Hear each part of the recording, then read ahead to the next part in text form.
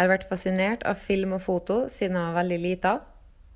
Jeg syns det er utrolig morsomt å sette sammen bilder med musikk og skape en spesiell stemning.